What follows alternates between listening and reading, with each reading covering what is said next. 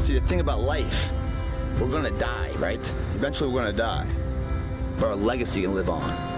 The impact can be non-perishable, forever.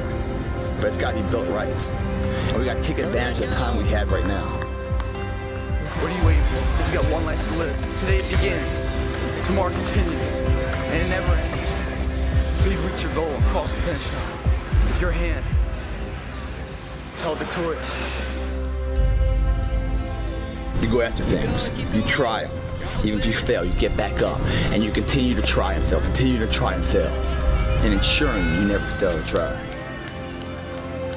Failure is part of the recipe for success. It's the losers that fail once and quit. Every winner has done fail. Eh, The loser and the winner both fail. It's just that the winner gets back up and does it again. Making your dreams a reality. Rep by rep. Stop running from the potential of what you can be, guys. It's inside of you. It's always been there.